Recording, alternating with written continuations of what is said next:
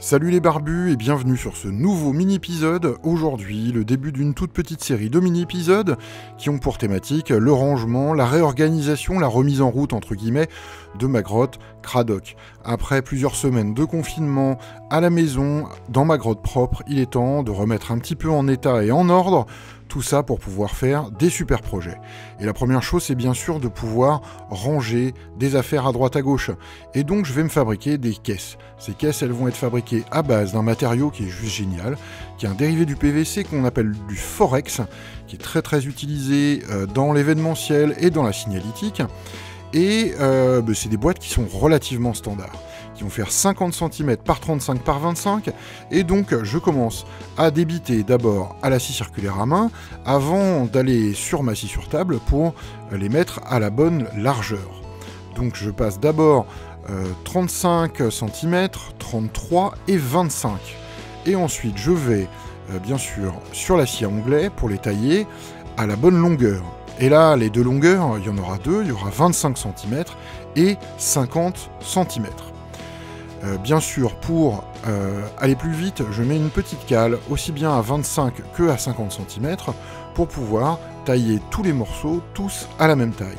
Ce travail de préparation, il est un tout petit peu long, mais il est indispensable si on veut pouvoir bah, justement batcher, entre guillemets, c'est-à-dire faire une série euh, de choses comme ça. La matière, le forex, c'est vraiment très très sympa à travailler. Euh, c'est du plastique, donc ça a tendance, euh, les espèces de, copeaux de plastique ont tendance à, se mettre un petit peu partout, mais c'est pas dramatique. Et bien sûr, vu que je vais faire une série, euh, je vais fabriquer des jigs pour pouvoir faire des actions répétées à droite à gauche. Et là ici, bien sûr, c'est pour pouvoir faire une poignée pour que les caisses puissent être trimballées à droite à gauche avec ma défonceuse. Je commence avec bien sûr du contreplaqué que j'avais sous la main, mais bien sûr euh, il y a une différence de hauteur, donc je switch sur des restes de Forex pour pouvoir me fabriquer ça. Et là vous allez voir, c'est relativement simple. En fait, ça prend quasiment plus de temps de se fabriquer le jig ou le gabarit que d'usiner les, les différentes pièces. Un autre avantage aussi, c'est que mon gabarit, je l'ai et je vais le garder. Donc, si j'ai besoin de nouvelles caisses en Forex, avec toujours ces mêmes dimensions, j'ai juste à ressortir les jigs, à remettre ça euh, dans le bon ordre, pif paf pouf, allez hop on y va. Et là comme vous le voyez, faire les 6 trous pour les mains, euh, ça a pris littéralement 15 minutes, même pas. Le deuxième élément c'est bien sûr de mettre un petit quart de rond sur l'intérieur et l'extérieur de la poignée.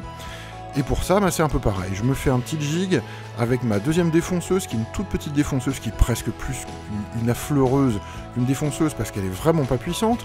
Mais pour ce genre de job, ça fait vraiment le taf.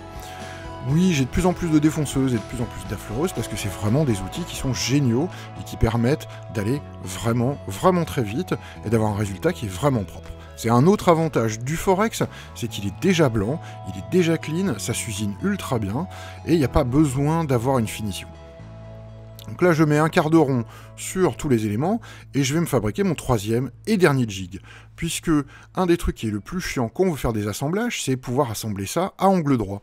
Donc je me suis fait un petit jig pour assembler les différentes parties sur un des coins, mettre de la colle PU, quelques agrafes, pif paf pouf, et c'est parti. Et ça me permet d'avoir un résultat avec un angle vraiment droit sur les quatre côtés. Et ça, c'est vraiment important si on veut un résultat qui est relativement propre. La dernière, enfin, pas, vraiment la dernière, mais l'avant-dernière étape, bien sûr, c'est de mettre un petit coup de colle PU transparent sur le fond et de coller le fond. Alors ici, j'ai mis des agrafes sur euh, certaines autres boîtes, j'ai complètement pas mis d'agrafes, j'ai juste mis du poids pour que ce soit suffisant euh, et pour que ça colle correctement. Bien sûr, on va attendre au moins 24 heures que la colle PU euh, soit bien prise et on va repasser tout ça à la défonceuse sur table avec une fraise à affleurer. Et là, on a un résultat qui est vraiment nickel. Alors, bien sûr, il y avait une ou deux agrafes qui dépassaient, que j'ai bien sûr enlevé avant de la passer euh, à la fraise à affleurer. Sinon, la gentille fraise à 70 balles, et eh ben pouf, elle est toute ruinée. Mais en tout cas, ça me permet d'avoir un résultat qui est vraiment clean, clean, clean. Et voilà le résultat. Pour l'instant, il y a 4 boîtes, j'en ai fait 3 autres et je risque d'en faire 3 autres encore. Pour du matériel, par exemple de la peinture, l'électricité, euh, des raccords, euh, des outils divers et variés qui ont toujours tendance à traîner sur euh, mes surfaces de travail qui là vont être pouvoir bien ranger. Voilà c'est tout, j'espère que cet épisode vous aura plu. A très bientôt et que la barbitude soit avec vous.